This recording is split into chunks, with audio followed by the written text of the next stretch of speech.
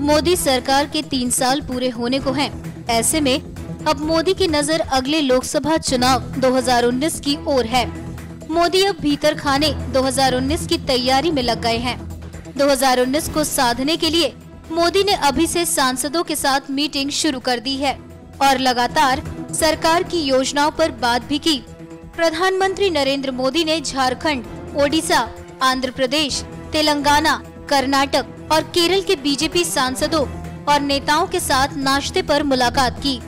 मोदी ने एक बार फिर सभी सांसदों को लोगों तक सरकार की योजनाएँ ले जाने और सरकार की उपलब्धियाँ बताने की सलाह दी है। पीएम मोदी ने सभी सांसदों से सोशल मीडिया पर खासा ध्यान देने पर ज़ोर दिया। बैठक के बाद संसदीय कार्य मंत्री अनंत कुमार ने कहा कि प्रधानमंत्री मोदी ने बैठक में सरकार की तमाम नीतियों और अन्य नीतियों पर सभी सांसदों के साथ चर्चा की है।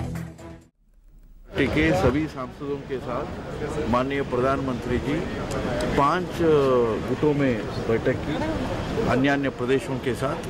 आज कर्नाटक आंध्र प्रदेश, तेलंगाना, तमिलनाडु, केरला, ओडिशा, झारखंड इतने प्रदेशों के सांसदों के साथ सार्थक बैठक हुई।